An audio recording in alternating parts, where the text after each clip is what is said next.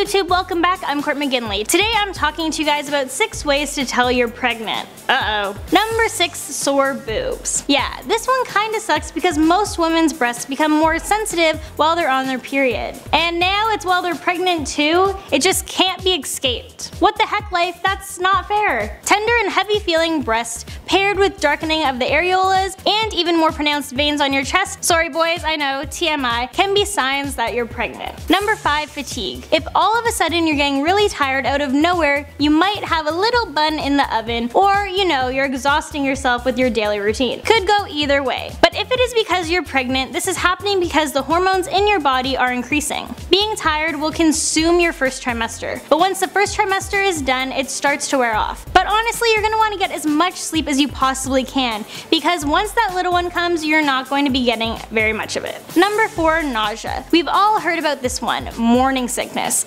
Most women will start to feel nauseous around their 6th week. But some women experience morning sickness much earlier than that. It's actually common that women don't even think they're pregnant until they're experiencing morning sickness day after day. And that's when the light bulb goes off and they know they need to go to the doctor. Now the bad thing about morning sickness is that it doesn't just occur in the morning. It can happen morning, noon, and night.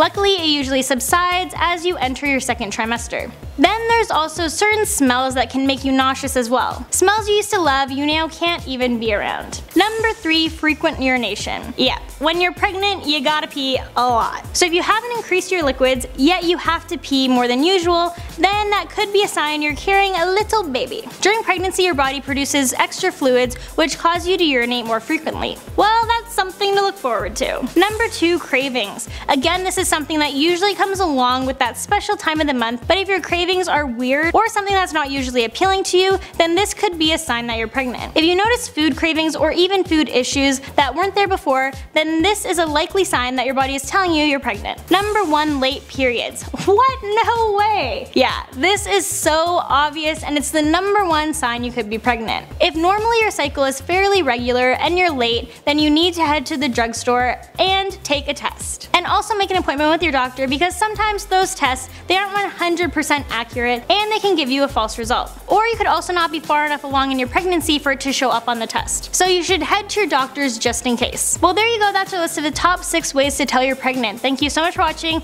Make sure you share this video, give it a big thumbs up, and I'll catch you in the next one.